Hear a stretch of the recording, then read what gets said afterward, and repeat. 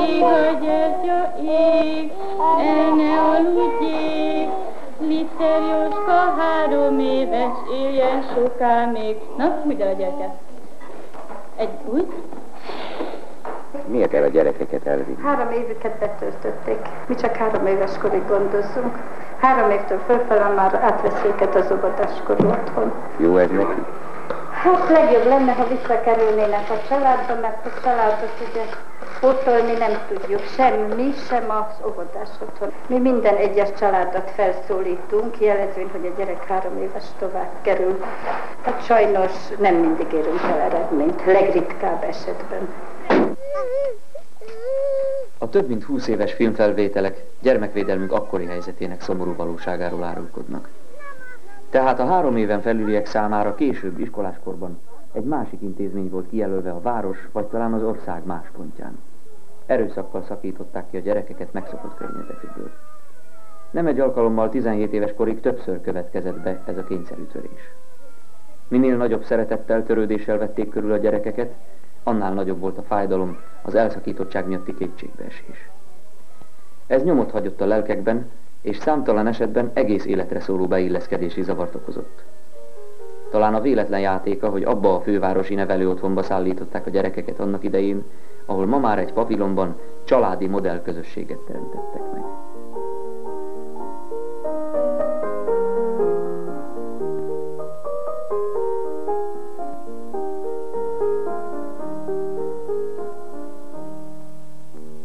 évek óta olyan próbálkozásaink vannak, hogy valódi házaspár, édesanyja, édesapa, saját két gyerekével és két nagyomával kiegészülve szerveztünk egy családot.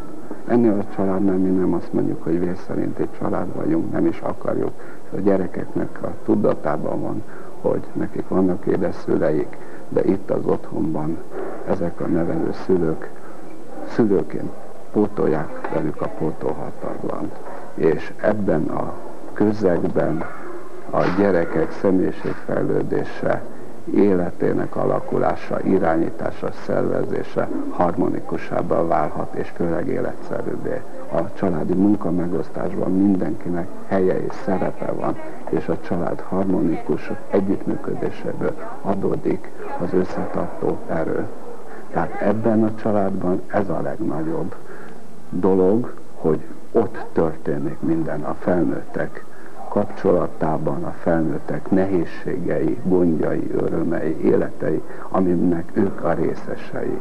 És ez nem baj, hogy nem a vészszerinti szülőjükről van szó, hiszen a szülő nem csak attól szülő, hogy vészszerinti, hanem attól, hogy gondozza, ápolja, nevelje felelősséggel, és a mindennapok gyötredelmeit, örömeit együttesen oldják meg. A kézi házaspárból az apa mérnök ember. Ideiglenesen hivatását áldozta fel. Az anya pedagógus. Számára most összefonódik hivatás és a család. Nem a családi fészek megteremtéséhez kellett nekik ez a megoldás, hiszen ők már rendelkeznek saját lakással. Gyakran emberfeletti erővel birkóznak meg különös feladatukkal. Vedd el a kenyeret. Köszönöm.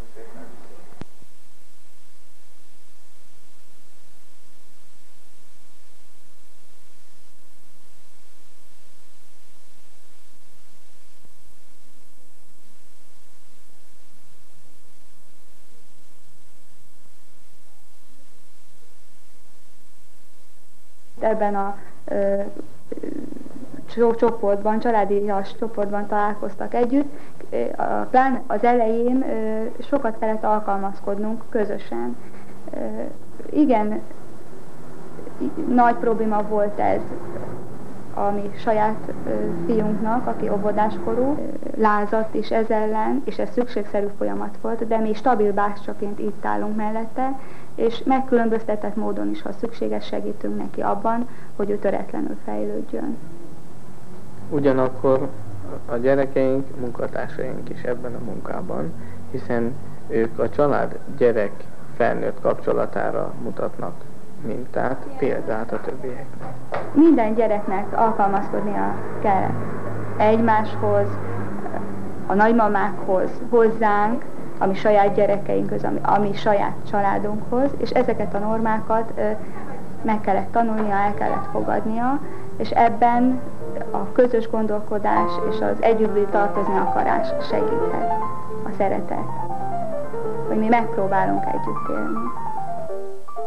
A nyolc nevel gyermek közül öten egy családból, ketten egy másikból kerültek ide. Személyes és családi tragédiákkal a hátuk mögött érkeztek ebbe az új közösségbe.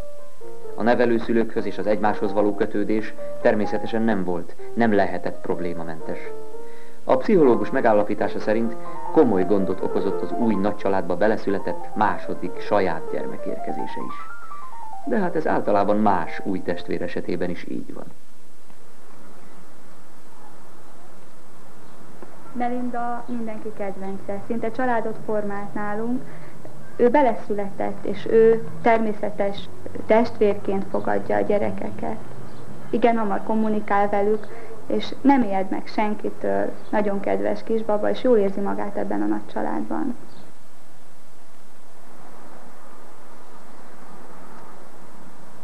Közülük sok árva elveszítette az édesanyját és az édesapját, és így mi vagyunk azok a pótszerek, akik ezt számukra pótoljuk. Természetesen úgy, hogy közben a mi saját gyerekeink sem sérülnek.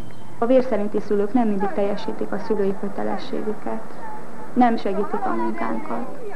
Viszont mégis próbálunk együtt gondolkodni ezekkel a vérszerinti szülőkkel, és megnyerni őket ahhoz, hogy a gyerekek érdekében próbáljunk meg közösen együtt dolgozni.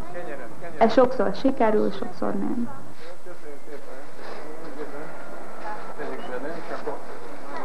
A nevelőszülők szerint szinte jutalom, ha valaki velük együtt vásárolni mehet a közértbe, a piacra vagy a vásárcsarnokba élményt, információt jelent ez számukra. Megtanulják a pénz vásárló értékét, beosztását. Megismerkednek az élelmiszerekkel, a vásárlás mikéntjével, és közben közlekednek, viselkednek, jól, rosszul, tanulságosan. A gyerekek már napok óta készülődnek Norbert születésnapjára. Még néhány apróság hiányzott a maguk készítette születésnapi tortához. A gyerekek fokozatosan érkeznek haza az iskolából. Ebéd után a napi feszültségek levezetéseként futkározás, játék, a barátok fogadása, a barátok meglátogatása, aztán a tanulás. A tanulás az... Ez nagyon fontos és hangsúlyos dolog, hiszen a, a gyerekeknek ez a munkája, hogy az iskolában is tudjanak teljesíteni, hiszen jelentős időt töltenek az iskolába, és ha ott is sikerélmények érik őket, akkor az ő kis személyiségük is kiegyensúlyozottabb lesz az ünnepek összetartó ereje, mint ahogy egy családban is a szeretet. És mi ezeket az ünnepeket igazán meghitten és igazán családiasan úgy próbáljuk szervezni, hogy beépüljön az ő személyiségükbe, hogy, hogy én is fontos vagyok valakinek. És része vagyok ennek a családnak, ennek a nagy családnak.